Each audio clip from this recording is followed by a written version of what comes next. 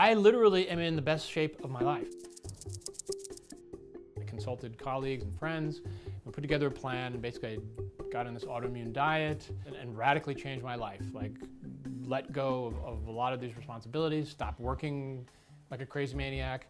Then I went to see an MD friend of mine, and that's when I was diagnosed with Hashimoto's. In that time, I've worked with over 2,000 people with Hashimoto's, so I've got like tremendous experience. One of the things I decided early on was like, whatever I ask someone to do, I'm gonna do it myself. You know, I have the, the, the blessing and the curse of having been through it and tried a lot of different things and made a lot of mistakes and failed a number of times, you know, to help them, I think, get there quicker and, and with less, hopefully, with less of a struggle. You know, I have a background in Chinese medicine and I've studied a lot of functional medicine. The real genius of Chinese medicine is in the interaction, interactions of the different systems of the body.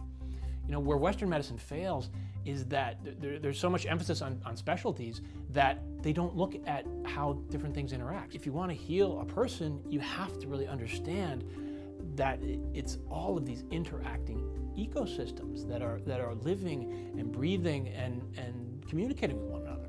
Men often do reach out to me, and one thing I've observed with many men, I think this is true with myself too, is like men generally don't do anything about their health until they're like really really sick. I think for everyone, uh, there there are universal things that will always be true, like diet is the foundation of success regardless of your woman. Hashimoto's is not incurable. The thing that's incurable are people. First of all, you have to have a belief that you can do this, and you really have to be willing to make, you know, sometimes fundamental, big changes in your life.